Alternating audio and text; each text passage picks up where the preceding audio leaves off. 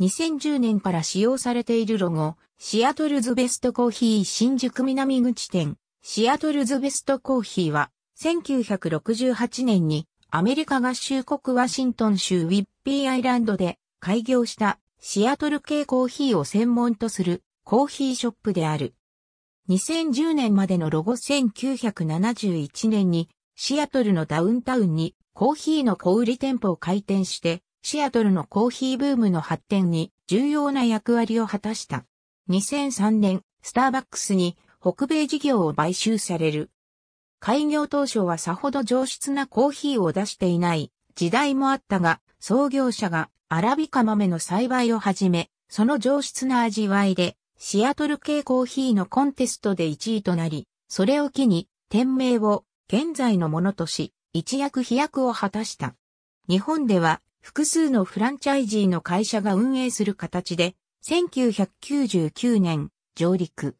東日本では三井物産系のボーリング場運営会社、日本ブランズウィックが1999年10月7日に1号店を東京都渋谷区の道玄坂に出店。関西では映像制作会社の三船が1999年10月29日に1号店を大阪、梅田に出店した。現在は JR 九州グループの JR 九州ファーストフーズがシアトルズベストコーヒーの日本法人となっている。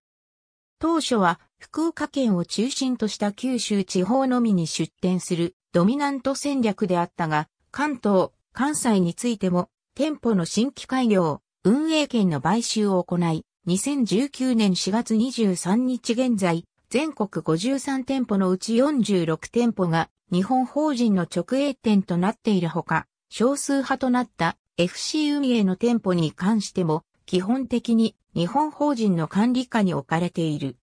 ドミナント戦略の名残からかその多くが福岡県及び福岡県外の九州地方における県庁所在地に集中している。シアトルズブレンドをはじめとし10種類を超えるコーヒー豆を用意している。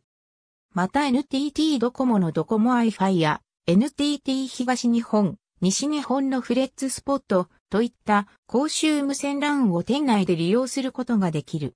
ドリップコーヒー蒸気のドリンクにホイップ、アイスクリーム、豆乳エスプレッソエクストラショットといったフレーバーをトッピングすることができる。フードメニューとしては、ホットドッグ、サンドウィッチといった基本的なメニューが揃っている。ありがとうございます。